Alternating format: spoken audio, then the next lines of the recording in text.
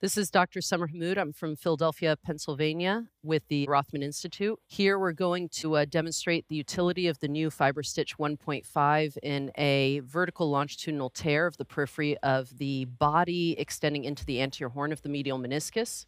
So this is the new 1.5 FiberStitch, and I just wanted to show you guys a comparison against the 18 gauge spinal needle. Okay, so for orientation purposes, this is a left knee. We're here in the medial compartment and we're going to go ahead and demonstrate the tear. We have already trephinated our MCL, and so we have a much better visualization here and better access. And so what we've done actually is created the body anterior horn segment of what would typically in a clinical scenario be a bucket handle tear of the medial meniscus. These typically don't present in this location in isolation clinically. We would have already repaired our posterior horn and now we're coming around towards the body and into the anterior horn, which are typically more difficult to access with all inside meniscal repair devices. So, of course, initially when we're preparing to do a meniscal repair, we want to improve the biology. And so we would typically come in with our torpedo shaver and prepare the edges. Something that I like to do is use the shaver on either forward or backward when I'm preparing with a shaver as opposed to a rasp the benefit of this is you're not removing meniscal tissue. Instead, you're really just freshening up the tear edges. And so that's something nice to do. You can control your suction. So, again, so that you're not removing tissue and you're just biologically preparing the edges and freshening them up for a repair.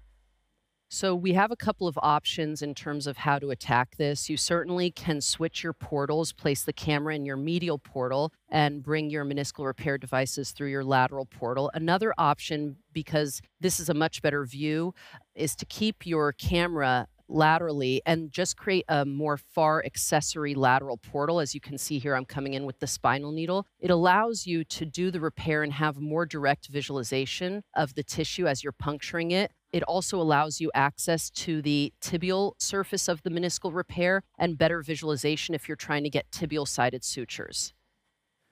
So again, as we can see here, just to illustrate, now I've come in through the medial portal with my camera and I'm probing through our initial lateral portal. And so we can see our access as we're more posterior directly onto the meniscus for a nice repair is very nice. But as we come towards the more anterior segment of the tear, obviously the probe has a tip to it, a curved tip, but access with a straight device becomes definitely more difficult. We do have pretty good visualization here, viewing through the medial portal, but it's not always the case. So it's nice to have options of viewing through both the medial and the lateral portals while you're doing your work. So we're going to go ahead and get our first implant in along the sled safely. I tend to like to go meniscocapsular first with my first pass, only because if you go into the body of the tissue, um, you have some suture that would be blocking your visualization more peripherally. So we are going to go ahead and utilize the curve. We'll puncture through. You do have to be careful as you come more anteriorly.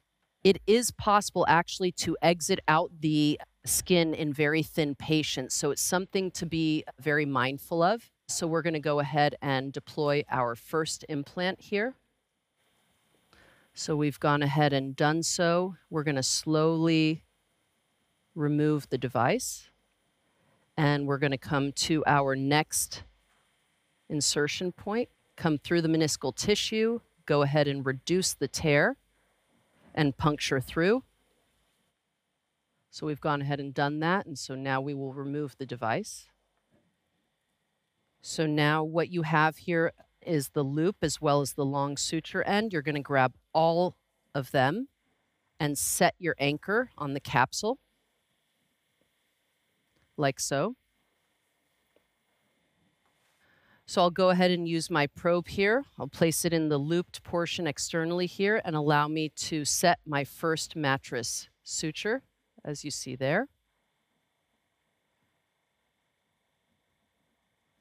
And then we'll go ahead and grab the free end and set the second mattress with really nice tension there. So we'll go ahead and use our suture cutter, slide it over the free end, and go ahead and deploy that.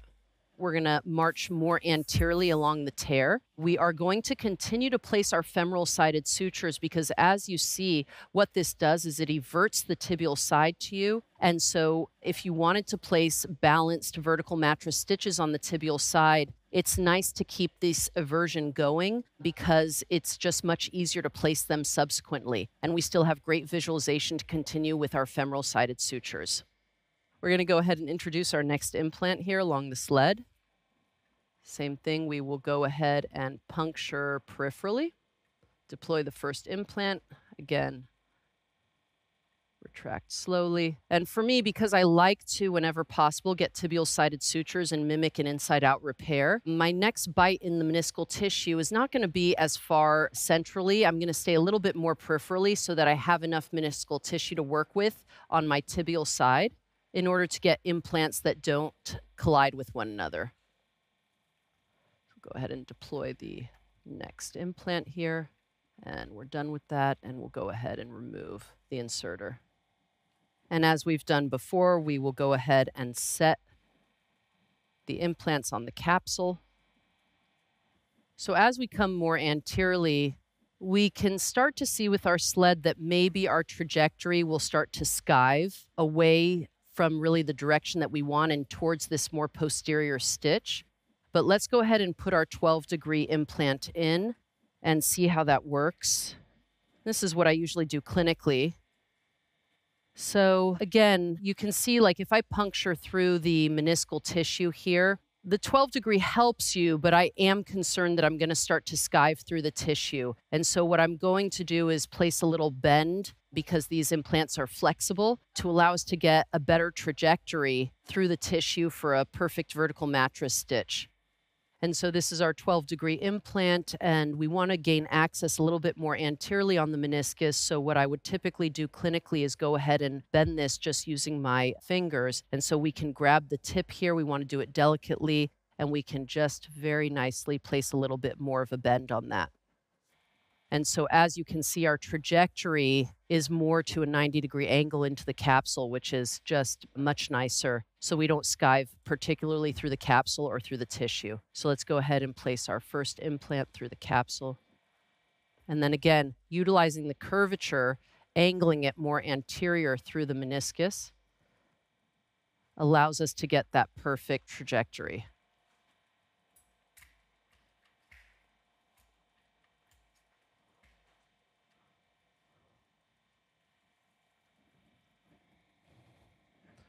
Set the implant, place the probe through the loop, set the first mattress stitch, and then second mattress stitch set by pulling on the free end.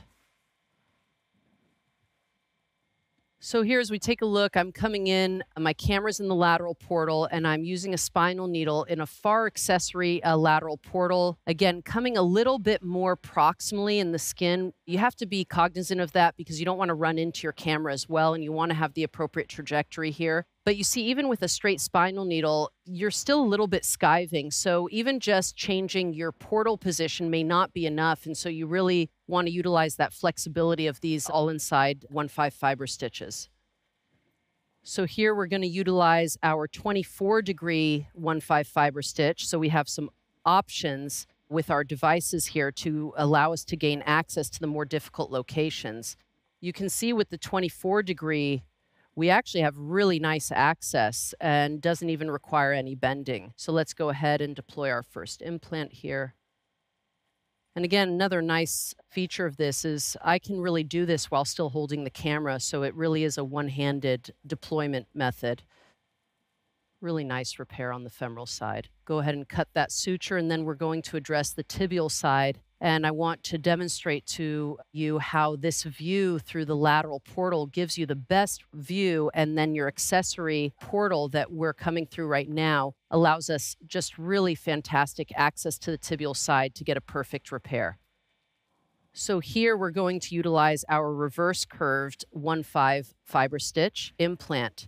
And so as you can see, what it allows is that bevel and the sharp tip is faced up. So it allows you to really access the meniscal tissue and puncture through it without skiving. I would like to mention that although on the femoral side, I typically puncture the meniscocapsular junction first, here I like to puncture the meniscal tissue first. And so we'll go ahead and puncture through, reduce angle away from our previous implants. And then here we will come inferior. And again, look at the visualization here while we're viewing through the lateral side. Go ahead and puncture through.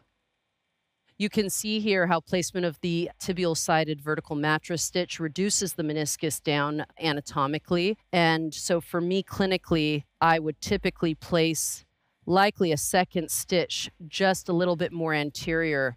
I typically just go as anterior as I can visualize and as the tear requires. So this is our final construct here. We have the four vertical mattress stitches on the femoral side, the two vertical mattress stitches on the tibial side brought the meniscal repair down nicely and reduced it. It mimics an inside out repair.